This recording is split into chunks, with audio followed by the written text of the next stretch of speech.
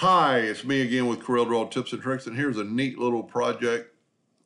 Really kind of simple, just a few extra steps.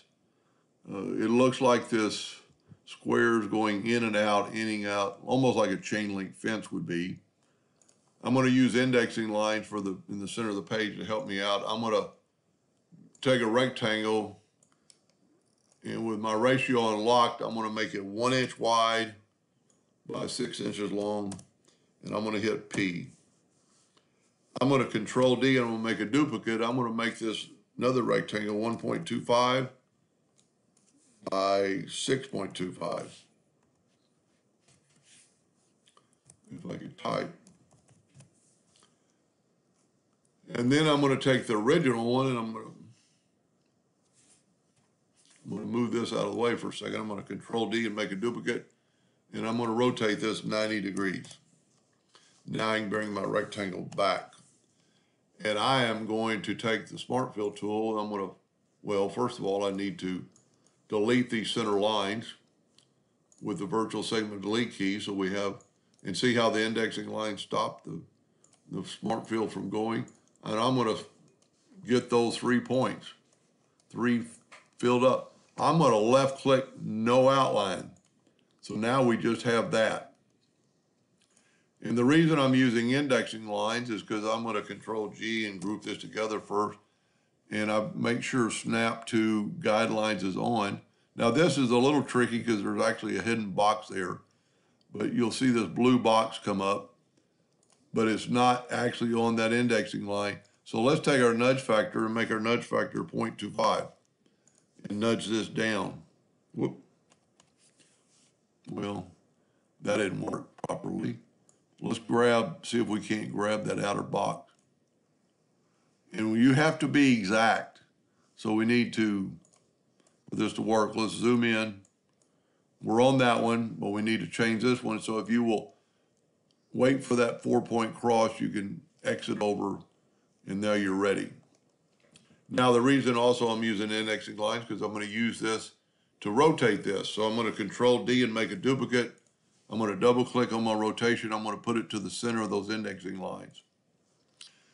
And then I am going to rotate it 270 degrees.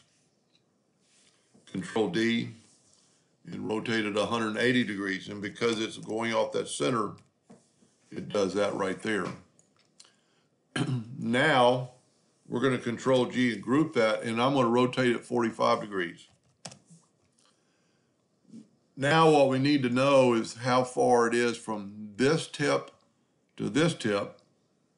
So we're going to take the parallel dimension tool and have it click on that node and go straight up to that node. And it is 11.84. I don't think that's right. Let me do that again. Let me zoom in a little bit. It could be right. Go from that node straight up to that node. And now I have 12.01.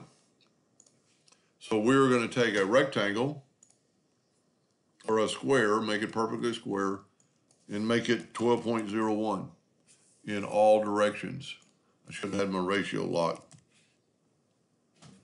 And then hit P, put it in the center of the page. Now we're going to take and select it all, and we're going to go to intersect. And what intersect did is made this. Now we can get rid of this. And remember the 12.01, 12, we're going to make our nudge factor 12.01. Let's get rid of our indexing lines. You can go up here and just turn them off. Control D and make a duplicate and move that over. And you could keep going forever and ever and ever.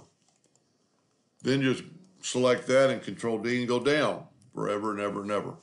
And at any point you can size it to whatever shape you want.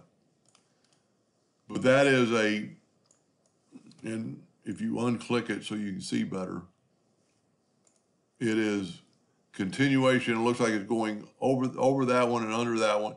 I mean, it's it's uh, it's not the neatest thing in the world, but it would be pretty good. Let's take a yellow box trick and go to object and order and back a page just so you can kind of see it better. Interlocking squares. Hope that helped a little bit. Thank you for watching.